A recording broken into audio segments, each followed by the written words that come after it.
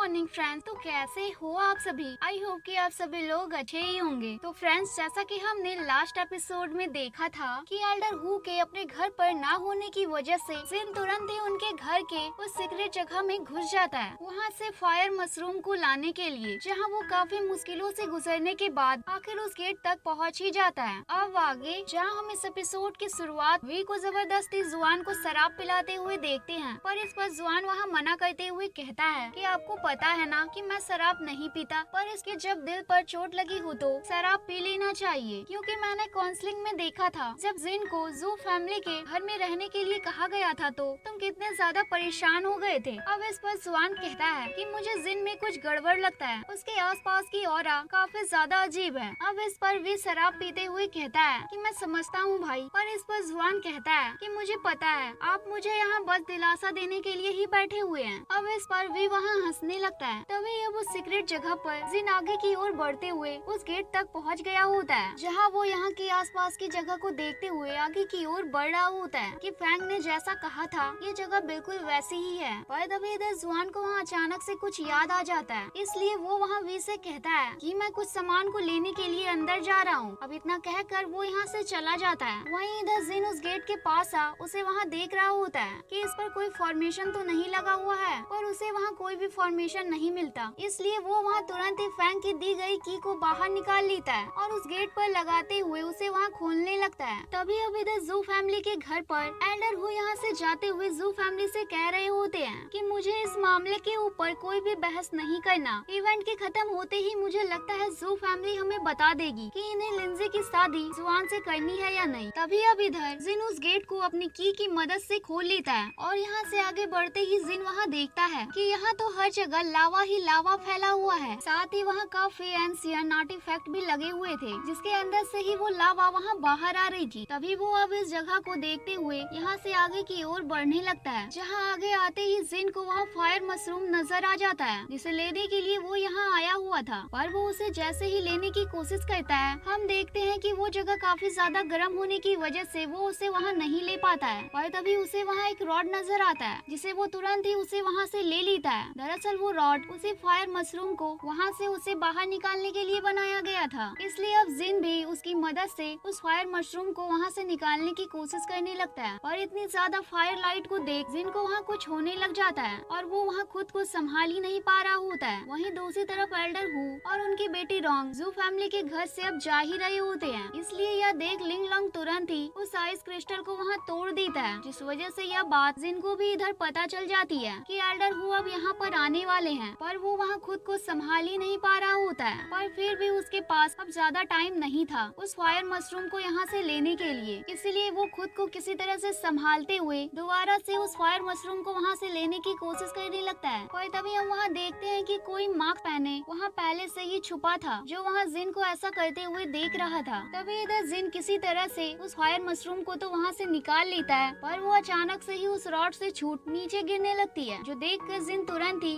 अपनी spiritual power की मदद से उसे वहाँ नीचे गिरने से बचा लेता है। और तभी इतने में ही वहाँ एक फायर ब्लास्ट हो जाता है, जिस वजह से जिन यहाँ से दूर उड़ जाता है और उसके हाथों से वो फायर मशरूम वहाँ लावा में गिर जाती है और जल जाती है। पर तभी अचानक से ही जिन को वहाँ लगता है कि कोई तो है जो यहाँ पर आ रहा है, तभी वहाँ का गेट खोलते हुए जुआन अंदर आ जाता है और काफ़ी ज़्यादा हैरान हो जाता है, क्योंकि वो अपने सामने एल्डर हु को घायल पड़ा हुआ देखता है। इसलिए वो तुरंत ही उनके पास आ उन्हें वहाँ संभालने लगता है। दरअसल जिन ने तुरंत ही अपने आप को एल्डर हु में चेंज कर लिया था, क्योंकि उसके पास रूप बदलने वाली पावर्स थी, जिसके बाद जुआन वहाँ की फायर को कंट्रोल करते हुए एल्डर हु को यहाँ से लेकर बाहर जाने लगता है, जहाँ ये सब वहाँ छुपा वो मार्क्स मैन भी देख रहा होता है। तभी अब बाहर आने के बाद कि एल्डर हु आपकी हालत अभी कैसी है, इस पर जिन वहाँ देखता है कि उसके पास अब ज़्यादा टाइम नहीं बचा हुआ है, क्योंकि वो अब अपने असली रूप में आने वाला था। इसलिए वो वहाँ जुआन से कहता है कि मैं ठीक हूँ, तुम जाओ और सो जाओ, रात बहुत हो गई है। अब इस पर जुआन उन्हें वहाँ रिस्पेक्ट देते हुए यहाँ से जाने लग पाए, तभी इतने में ही हम वहाँ देखते हैं कि असली एल्डर हु और रॉन्ग आपस में बात करते हुए अब अपने घर आ चुके होते हैं और ये आवाज़ जुआन को भी वहाँ आ जाती है। जो सुन वो वहाँ काफ़ी ज़्यादा हैरान होते हुए पीछे देखने की कोशिश करने लगता है कि एल्डर हु वहाँ है तो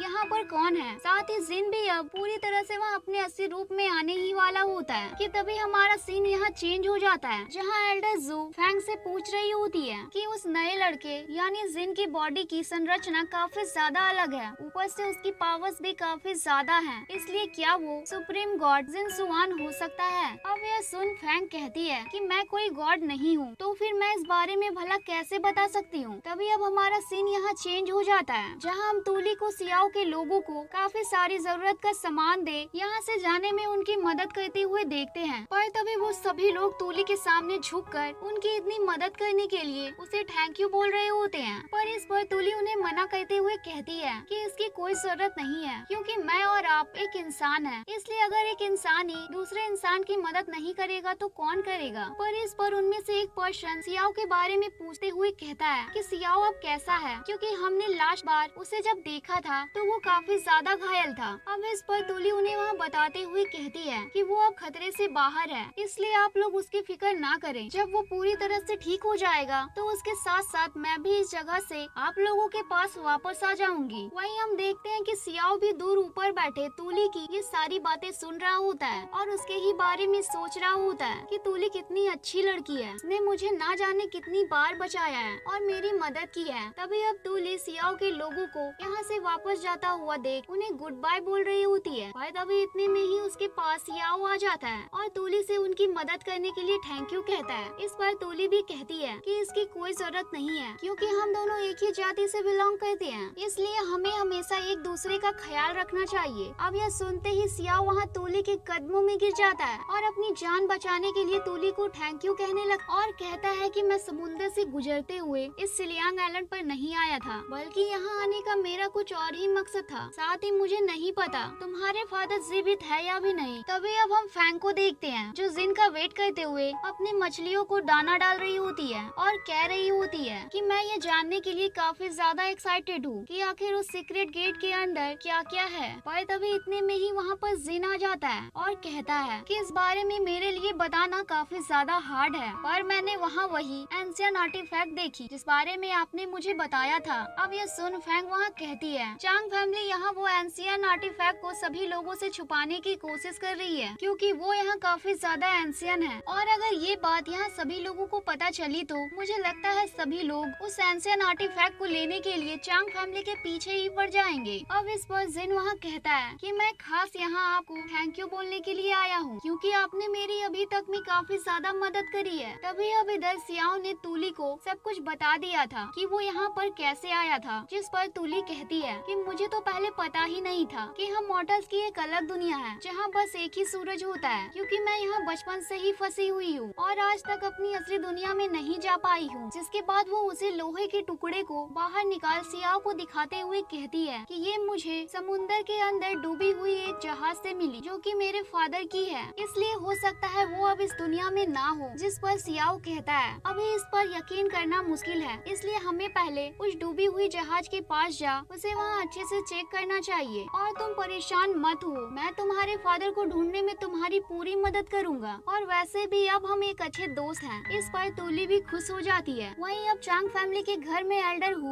अपने सभी गार्ड्स को डांट रहे होते हैं कि तुम लोगों के यहाँ पर होने के बावजूद भी कोई कैसे हमारे सीक्रेट रूम के अंदर घुस सकता है। ऊपर से उसने सुहान की भी काफ़ी ज़्यादा हालत खराब कर दी है। पर फिर भी तुम सभी लोग ये याद रखना कि इस बारे में किसी को कुछ भी पता नहीं चलना चाहिए। अब यह सुन रॉन्ग वहाँ काफ़ी ज़्यादा रोते हुए गुस्से से कहती है कि जिसने भी मेरे बेटे को पीटा है, उसे मैं बिल्कुल भी नहीं छोड़ूँगी। अब इस पर वी वहाँ बताते हुए कहता है कि जुआन ने बेहोश होने से पहले हमें बताया था कि वो पर्सन जो भी था, उसने यहाँ आपका ही भेज लिया हुआ था। इसलिए मुझे लगता है, क्योंकि हमारे पूरे सिलियांग लैंड पर सिर्फ़ वही है जिसके पास ऐसी पावर्स हैं, कि वो दूसरों का भेज बदल सकती है। पर इस पर एल्डर हु वहाँ कहते हैं, नहीं, मुझे नहीं लगता कि वो फैंग हो ज़रूर ये किसी और ही पर्सन का काम है। अब यह सुन रॉन्ग वहाँ जिन का नाम लगाने लगती है, की ये अभी हमारे आईलैंड पर नया नया ही आया है। से हम अच्छी तरह से जानते भी नहीं है, इसलिए शायद उसने ही ये सब किया हो। और इस पर रैन वहाँ कहते हैं कि हमारे पास अभी उसके खिलाफ कोई भी सबूत नहीं है। इसलिए हम अभी उस पर इस तरह से कोई भी आरोप नहीं लगा सकते हैं। अब इस पर एल्डर हु कहते हैं कि जो भी हो, अब हमें इस मामले को सीरियसली लेना होगा। क्योंकि पता नहीं वो जो भी पर्सन था, उसने क्या हमारे सीक्रेट रूम की सारे सीक्रेट चीज़ों के बारे में जान लिया होगा। इसलिए तुम जाओ और इस बारे में अच्छे से पता करो। वही इधर जिन फैंग से कह रहा होता है कि मैं इन सब के बारे में छुप छुप कर पता लगाते हुए अब थक चुका हूँ। इसलिए वो लोग जो भी हैं। वो यहाँ खुद सामने क्यों नहीं आते हैं? क्या वो यहाँ मुझसे डरते हैं कि वो मुझसे यहाँ हार जाएँगे? पर इस पर फैंग वहाँ कहती है, अब तुम जो भी करना चाहते हो, वो तुम कर सकते हो। मैं तुम्हारे रास्ते में नहीं आऊँगी, क्योंकि मुझे लगता है अब तुम काफ़ी बड़े हो चुके हो। जिस पर जिन कहता है कि, मैं जानता हूँ, आप मेरे यहाँ मदद क्यों कर रही थी? क्योंकि उस फॉर्मेशन की मदद से वो सील्ड यहाँ टूट भी जाता है तो कोई भी पर्सन यहाँ से बाहर नहीं जा सकता है, क्योंकि मेरे सिवा इस पूरे आइलैंड पर किसी के पास उड़ने वाली पावर्स नहीं है जो यहाँ सील्ड के टूटते ही यहाँ से उड़कर भाग सकता है। पर आप परेशान मत हो। मैं आपको यहाँ से बाहर निकाल दूँगा। अब इतना कहकर जिन यहाँ से चला जाता है। पर उसके जाते ही फैंक की हालत वहाँ काफ़ी ज़्यादा खराब हो जाती है और वो वहाँ कहती है, मैं अपनी इस हालत का किसी को भी पता चलने नहीं दे सकती। और इसी के साथ हमारा ये एपिसोड एंड होता है फ्रेंड्स अगर वीडियो अच्छी लगी हो तो प्लीज़ वीडियो को लाइक और चैनल को सब्सक्राइब करें। Bye bye